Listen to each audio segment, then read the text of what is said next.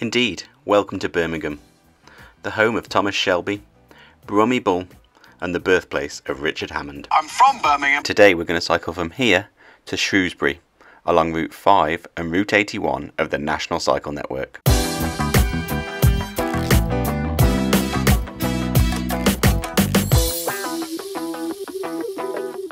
We're starting our journey here at Brindley Place in Birmingham city centre, a former industrial area on the edge of the Birmingham Main Line Canal. It was rejuvenated in the 1990s with the shops and offices that we see today. It's named after James Brindley, the engineer of the first canal that linked Birmingham to Wolverhampton, which is the next city that we're aiming for. From here, we're going to use Route 5 of the National Cycle Network to make our way to Smethwick. Here we'll switch to Route 81 and continue our journey through the Black Country all the way to Wolverhampton city centre. We'll then head from Wolverhampton towards Telford and finally from Telford to Shrewsbury, Shrewsbury. all using as many traffic free routes as we can. We start our journey by heading down the side of the National Sea Life Centre. This sits to the side of the Birmingham Main Line Canal, the towpath of which we'll be following as we make our way out of Birmingham on Route 5. Route 5 is on the opposite side of the canal, so we need to make our way over and start to head northwest along our route. As you can imagine, not being far from the city centre, this section towpath can get quite busy, so do be careful as you go down here, and a bell is a must. There's a couple of bridges we need to navigate ourselves under, so do be careful because it does narrow the towpath a little bit. And there is no guardrail to stop you going in the canal. After passing under that second bridge, the canal takes on a different character from what it was in the city centre. You can see there seems to be a bit more space here, and although you can tell you're still in an urban area, you don't feel as closed in as you did at the start of the ride. After passing under the Birmingham Inner Ring Road, you'll notice that the canal becomes absolutely arrow straight. And if we look at a map of this section of canal, we can see a couple of curious canal loops coming off this very straight section of canal. The original canal, designed by James Brindley, followed the lay of the land as much as possible, so meandered its way out of Birmingham, through the Black Country and to Wolverhampton, with quite a few locks along the way and only a towpath on one side. By 1824 it was apparent that something better was needed. Thomas Telford was appointed chief engineer to improve the canal between Birmingham and Wolverhampton. He used huge embankments, large cuttings and tunnels to create a much straighter route to Wolverhampton, cutting over 7 miles off the route, also significantly widening the canal and adding a towpath to both sides most of the way. This canal was the motorway of the 1800s and it cut through the route of the old canal, creating these curious loops off the main line.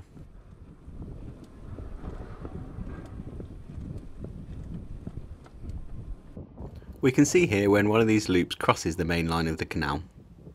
A section there in front of us going off, and behind us the new section of Mainline Canal heading towards Birmingham city centre, there with the skyline in the distance. We actually have a train line up against the canal here, and off under the train line goes the other old section of canal heading away from the new main line. It's because of this, the way that this new main line was built, that you can expect to cross quite a few junctions on the canal. So there's a lot of these little bridges to traverse as we make our way up Route 5. Because of these many canal loops and the extensive canal network in Birmingham, you may have heard people refer to Birmingham as the Venice of the North. People from Birmingham are always saying it's the Venice of the North. When we reach Smethwick, it looks as if the canal splits into two, with a left and right fork. In fact, the right fork is the original route of the James Brindley Canal, which goes up and over the Smethwick summit using a number of locks. The route on the left is Thomas Telford's new route, which uses a large cutting to make its way through the Smethwick summit, getting rid of the need for any locks and thus speeding up traffic flow through this section. We cross the old canal here on a bridge that was put in by Thomas Telford as part of the improvements to the canal here. It was cast just up the road in Tipton at Horsley Ironworks and is Grade 2 listed. As we head into the cutting that Thomas Telford created, we come across more of his handiwork crossing over the top. This is the engine arm aqueduct, built by Thomas Telford out of cast iron to carry yet another canal over the top of this cutting. It's one of many iron aqueducts that Telford created, including the Pontcysyllte Aqueduct, which we recently crossed in my Route 84 video. Not far from the Engine Arm Aqueduct, we begin to approach the Galton Tunnel. This is the first of two tunnels that we pass through on our way to Wolverhampton.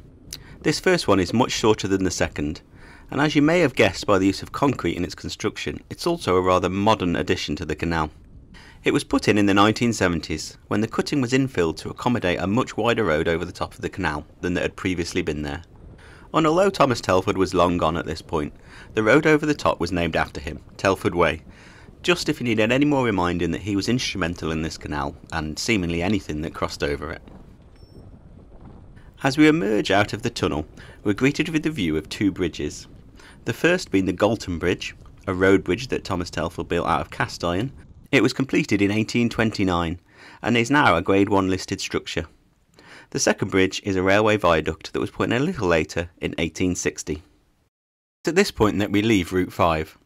Marked by a little blue sticker on the railings and a millennial milepost, Route 5 takes a right turn and heads up the embankment towards Walsall. But we're going to carry on along the route of the canal towards Wolverhampton along what is now Route 81 of the National Cycle Network. As we begin to hear the M5 in the distance, we come to a closure of the towpath due to an unsafe wall. Now this does seem to be a temporary measure and there is quite a clear diversion in place here. But it does mean we have to leave the cut for the first time in this journey. So we head up the ramp up to the road above, where we take a right turn and head along the road.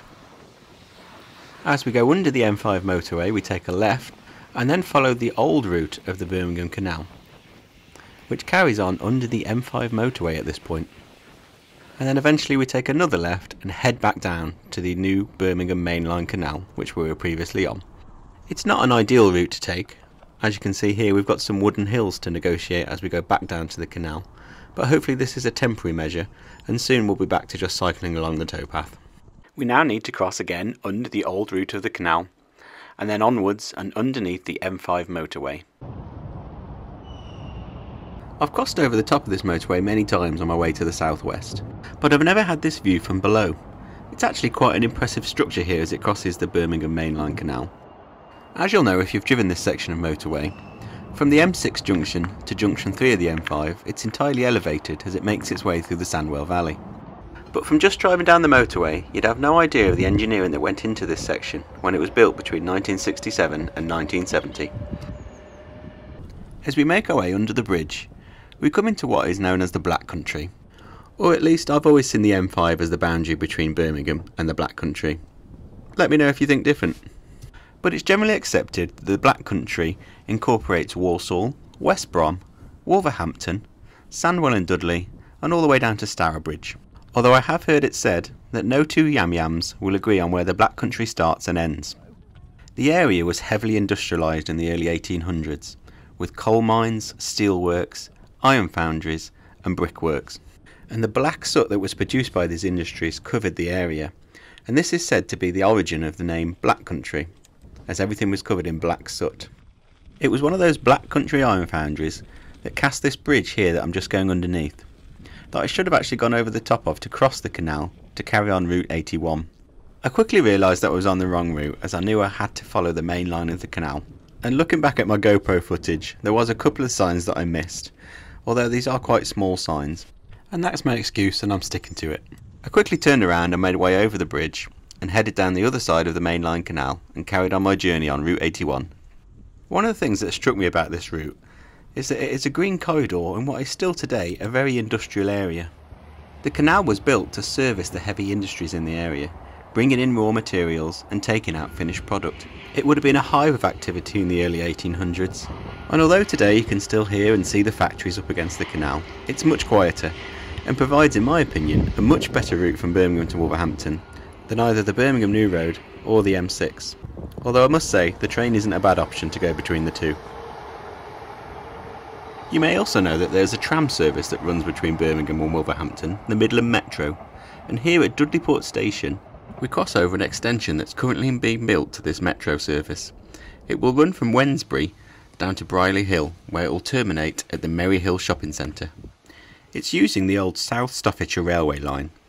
This was closed to passengers in 1968, but was used by freight trains till as late as 1993 so fortunately the route has been kept clear and it can be repurposed as this tramway.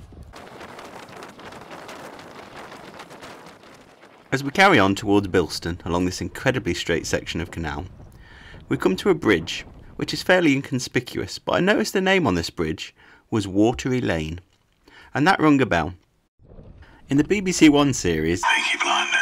Watery Lane was the home of the Shelby family, and it was indeed a real street in Birmingham.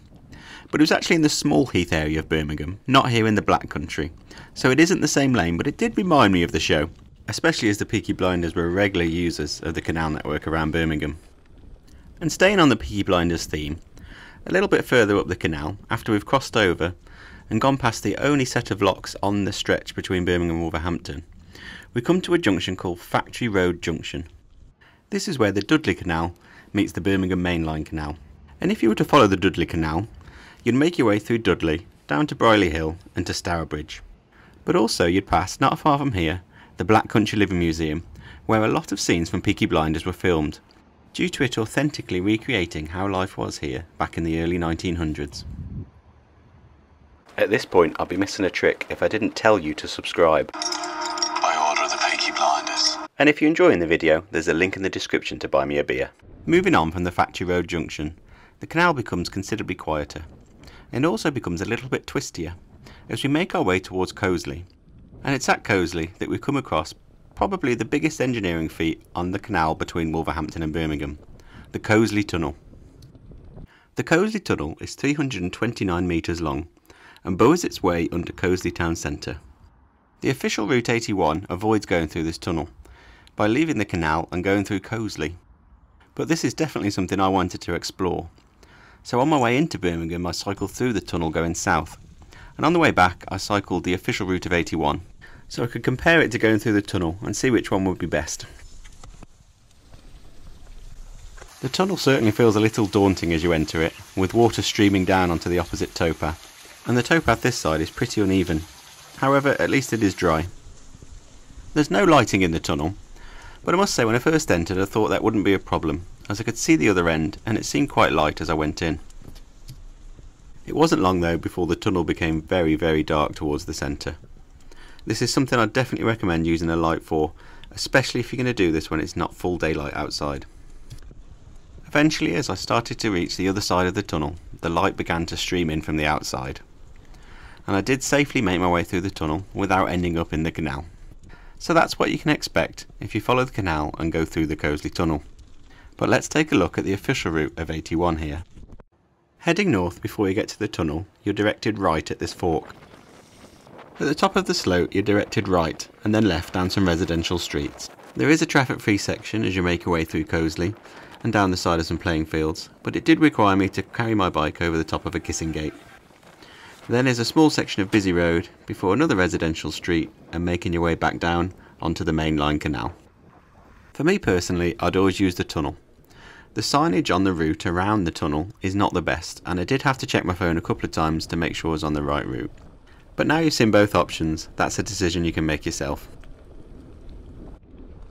We continue our way towards Bilston and then on to Wolverhampton city centre. The canal continues to follow a twistier path than it did previously, I wasn't actually 100% sure that Route 81 would get us all the way to Wolverhampton city centre. On the Sustrans map, you can see there's a large gap in Route 81 between Bilston and the city centre, and I wasn't sure that there would be a path here for me to follow.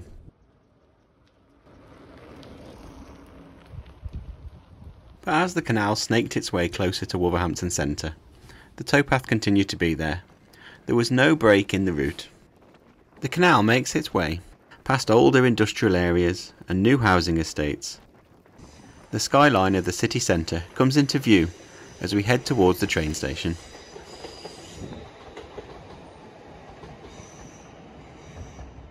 From here we head under Wednesfield Road and towards Wolverhampton city centre and the end of this first leg of 14 miles between Birmingham and Wolverhampton. From here we're going to carry on along the canal, the last couple of miles before it meets the Staffordshire and Worcestershire Canal. We're then going to use a couple more canal towpaths before using some quiet lanes to make our way to the outskirts of Telford. From here to Telford, it's just under 20 miles. And because there is a bit more road riding in this section, albeit quiet lanes, I've done a magical bike change to my road bike. But as you can see by the bumpiness of this footage, especially as we make our way around this lock gate, This path is not exactly the perfect territory for a road bike, and I did begin to wonder whether I'd made the right choice, especially as the path narrowed as it headed under this first bridge. Road bikes are not the most manoeuvrable things in the world, and I did think I'd much rather have been on my mountain bike at this point. But after passing under the bridge, and then through this gate, which was easy enough on my narrow handlebarred road bike, not so easy on a fully loaded touring bike or with a child trailer, the path opened up and became much wider and much smoother, perfectly acceptable for riding a road bike on.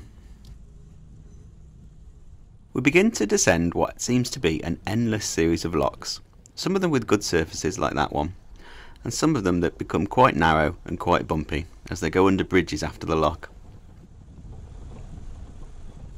There's no escaping you in an urban area here, as the canal makes its way under an awful lot of road bridges and under a few rail bridges as well before eventually you make your way to the Stafford Road Bridge.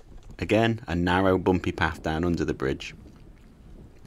But as we make our way to the other side, the canal seems to open up a little bit, and you feel like there's a bit more breathing space. After descending yet another lock, we get a fantastic view of the Oxley Viaduct.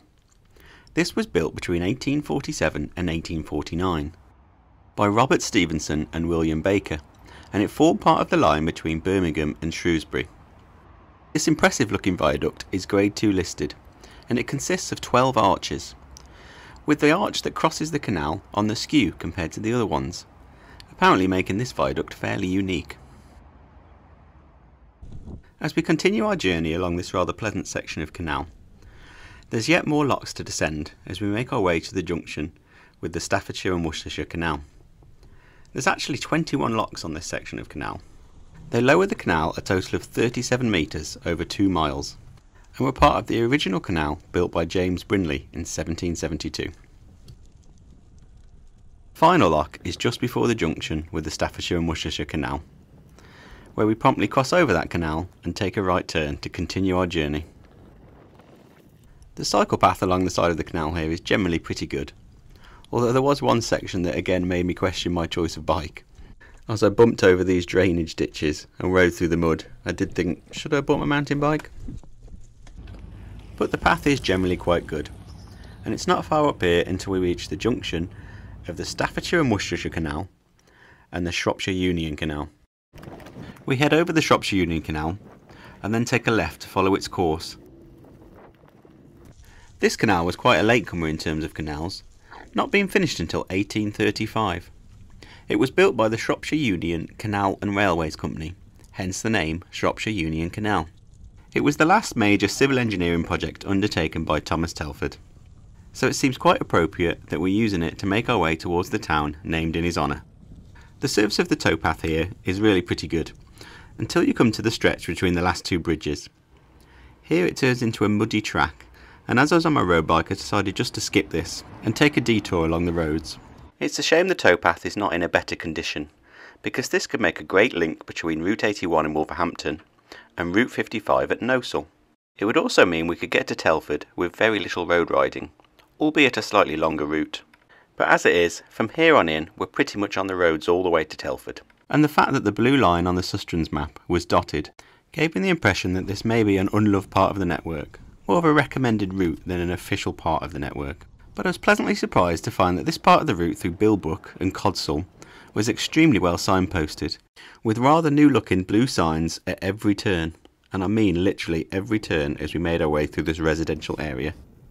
After making another right turn, clearly marked by this signpost, we make our way onto Hushpins Lane and out of this urban area, and onto the type of lanes I'm more used to riding on my road bike. This quiet rural lane will take us most of the way to our next destination on Route 81, Albrighton. As we continue down this road, it looked like the good signage was going to carry on. But unfortunately, as we take a right turn and then a left turn onto Harriet Hayes Road, just before it joins the A41, the signs unfortunately disappeared. I did spot a small sticker directing us right just before I reached the A41, but it certainly wasn't up to the standard that we'd seen in Bilbrook and Codsall. This stretch along the A41 is only a short stretch fortunately, because this is an extremely busy road and an extremely fast road, so do take a lot of care if you do plan on coming down here. The route heads into Albrighton under the Birmingham to Shrewsbury Railway, past Albrighton train station and down towards the High Street, where we take a right and head through the centre of the town. As we head out of Albrighton, the signs again improve and we're directed left here, down the side of the A41 on this cycleway. Which, although not the best in the world, is still much better than cycling on the A41. This cycleway takes us to RAF Cosford. Opened in 1938 as an aircraft maintenance, storage and technical training area. It's named after Cosford Grange House at the southwest of the airfield. It was originally a grass runway here, but during World War II it was upgraded to tarmac. During the war it continued to be used for aircraft maintenance, as well as a base to deliver Spitfire aircraft from to the various places they were needed around the country. We eventually pass under again the Birmingham to Shrewsbury Railway and are greeted with the sight of the runway. As well as the many hangars here, you may also get a sight of the Midlands Air Ambulance, which is based here. A little further down the road is the RAF Cosford Museum. I'd recommend not flying past here because on the grass outside is a Hawker Hunter. This type of fighter jet served in the RAF from 1956 to 1963 and was used for training purposes right up until the 1980s. The RAF Cosford Museum is a great day out and it is free entry. The only thing that you have to pay for is parking. So there's some incentive to get on your bike. Moving on from the museum, we again cross the Birmingham to Shrewsbury Railway this time over the top, giving an opportunity for some train spotting. The route continues down Neachley Lane as it heads towards Shifnal. There are a couple of short sharp climbs on this section, nothing substantial by any means, but I think because the route had been so flat up to this point I did notice them. We then join Stanton Road, a much busier road than Neachley Lane, but I was happy to see the signpost there directing us left onto this. This is a fast section of B road that will take us into Shifnal, fortunately only about a mile away from here. There's nothing too much exciting to see in Shifnal. Not that it's a bad place, but we're directed away from the centre around residential streets. We leave Shifnal using Horton Lane, which after a short climb widens and flattens out as it makes its way to junction 4 of the M54. It's worth noting that the route here recently changed and there is a signpost still directing us right here along the old route, which has changed due to a new housing development on the edge of Telford we need to carry on straight between the M54 and the services. From the end of this road we join a traffic free section, which takes us around the M54 island and upwards into the area known as Priorslee, where we officially enter Telford. Welcome to Telford New Town. Continuing up Castle Farm Way, named after the farm that previously occupied this area, we pass by some housing estates under construction. Or if you're watching this in a couple of years' time, we pass by some new houses. We take a very well signposted left turn and head up a cycle path which takes us through the centre of Priorslee.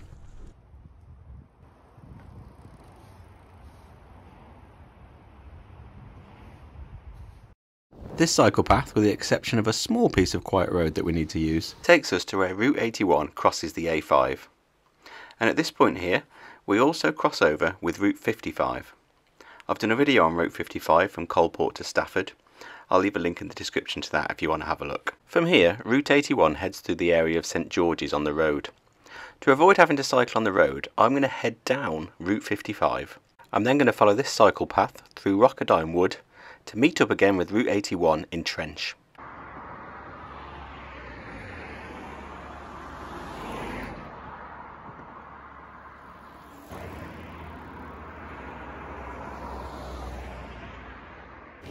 After cycling the short bit of Route 55 downhill, we can follow Wrockwardine Wood Way until we get to this small turn off, which has signs directing us back to Route 81.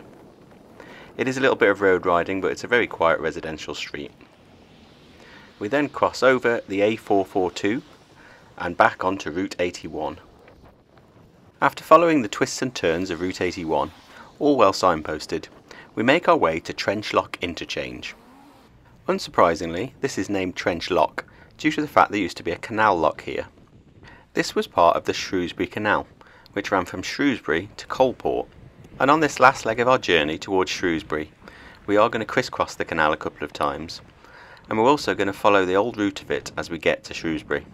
I'm going to leave Route 81 again here, it goes off there to the left, but I'm going to continue along the A442 as it has cycle paths leading along the edge of it, all the way to the edge of Telford. Route 81 does follow cycle paths through the areas of Leegomery and into Wellington, but then as you pass around Wellington, there's a fair bit of road riding on quite busy roads, so I think this is a better route to stay on traffic-free routes as much as possible. A little later on as well, we also get to ride down an old railway line, which if you've watched the channel before, you'll know is something that I love. As we follow the A442 through the Hadley Park area of Telford, there's a left turn that I'm going to take a detour down to have a look at the old route of the Shrewsbury Canal. The part to the south side of the A442 actually still has some water in, and a little bit further down this path there's a rather interesting lock that we can take a look at. So this is where we've just come from, down the side of this canal bed. As you can see there's still water in the bottom of it. I mean, you couldn't get a canal boat down there, but definitely can tell it used to be a canal. And if we turn around, you can see this old lock gate. This is the Hadley Park lock, one of 11 locks on the 17 mile length of the Shrewsbury Canal from Trench to Shrewsbury.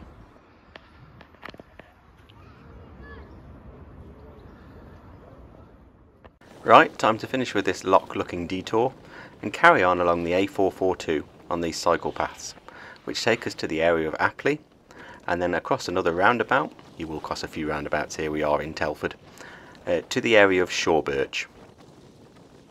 In Shawbirch the cycle path does end unfortunately, so we need to cycle a few hundred metres along this road before we're able to turn left onto a cycle path which follows the route of an old railway. And although this is not part of the National Cycle Network, there are some blue signs here directing us back to Route 81, which this will link up with on the edge of Wellington. This disused line is the old Wellington to Market Drayton Railway, which was opened in 1862. It ran from Wellington to Market Drayton, obviously, and then had connecting lines towards Nantwich and Crewe, and also over to Stoke. It was never a particularly busy line, with it running through some rather rural areas, and passenger traffic ceased in 1963, with freight traffic ending in 1967. After a mile or so, the route brings us onto Route 81 again, at Wrockwardine Road, just on the edge of Wellington and also the edge of Telford. From here we're going to be following Route 81 to our final destination of the Quarry Park in the centre of Shrewsbury. The route meanders through quiet lanes as it makes its way to the edge of Shrewsbury, and then follows a cycle path along the side of the Shrewsbury Canal before making its way into the centre of Shrewsbury. Here we pass under the Birmingham to Shrewsbury Railway. This would have joined up with the disused line that we've just left. When we get to the village of Wrockwardine, we need to take a right turn to continue through the village and on Route 81. This is marked with one of the National Cycle Network blue signs, but I did find when we left the village a couple of the turnings weren't marked, that goes the same for this whole route between Telford and Shrewsbury.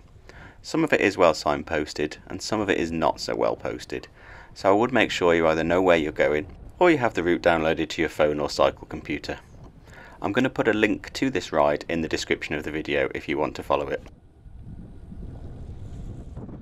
The village of Wrockwardine sits on top of a small hill, so when leaving the village I did get some great views of the Shropshire countryside, with Haughmond Hill directly in front of us and even further in the distance Middletown Hill, which marks the border between England and Wales. After passing through the village of Charlton, and once again under the Birmingham to Shrewsbury Railway, we come through the village of Walcot, and the spot where Route 81 crosses the River Tern. There's a lot going on at this river crossing. Just before the bridge, the River Roden joins the River Tern, and they make their final journey down to the River Severn not too far away. There's a modern sluice just slightly upstream. This was built in the 60s to keep the river level high for the Allscott sugar beet factory just upstream from here. It was also the site of a corn mill that actually operated all the way back from 1100 AD until 1962. After crossing the river, a little further down we take a left turn and make our way towards the village of Withington, carrying on along these lovely quiet lanes. In the village of Withington, we cross over the route of the old Shrewsbury Canal again. Here you can see there's a bridge, but absolutely no sign of the canal in the fields and the garden that it used to run through. Canal closed in stages but was fully abandoned by 1944. In 1963 the canal network was transferred to British Waterways and much of the Shrewsbury Canal was sold off and destroyed. From here it's another couple of miles to the village of Upton Magna. And along the way the route is again well signposted with the little blue signs being there as long as you look out for them. It's also worth looking out along this section for the Wrekin Hill which towers to the southeast just outside Wellington. Legend has it that this hill was created by a giant who had a spade full of dirt who was looking to dam the River Severn just outside Shrewsbury in order to flood the town. Fortunately, after becoming lost and tired, he dumped the dirt just outside Wellington, creating the 1335 foot Wrekin Hill. We next pass through the village of Upton Magna, with this lovely old fashioned sign in the middle telling us that we have five miles to go along Route 81 towards Shrewsbury, and also we're crossing over Route 45 of the National Cycle Network here.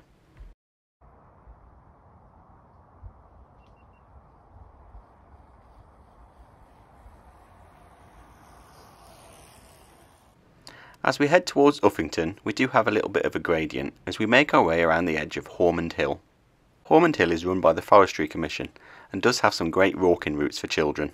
At this point you also get a great view of the South Shropshire Hills in the distance. Just before we get to Uffington, we pass over the Shrewsbury Canal again, although to be honest you wouldn't know unless you looked from the air.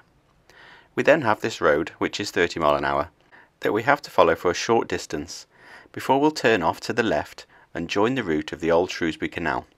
We'll follow this for a short while as we make our way towards Shrewsbury Centre.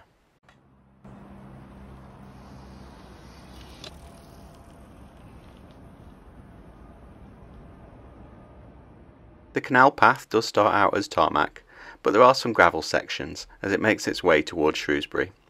Although to be honest, even on my road bike, the surface was absolutely fine. I had no problem traversing it. There is a little more road riding as we make our way through a residential street and then onto the beautiful tree-lined Sydney Avenue as we make our way to Shrewsbury Weir. The weir was built in 1909 simply to keep the water level high enough around Shrewsbury so boats could use it all year round.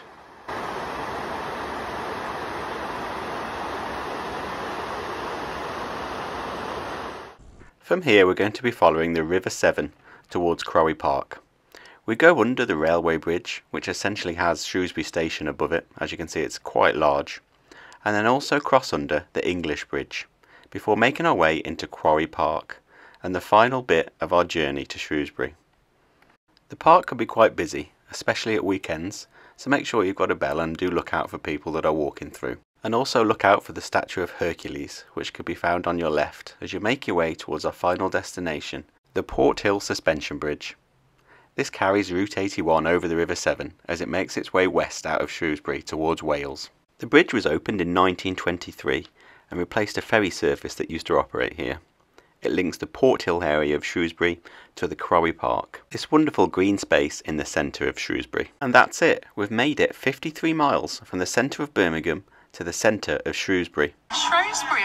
About half the route has been on traffic-free cycle paths, with the other parts mostly being on very quiet single-track lanes.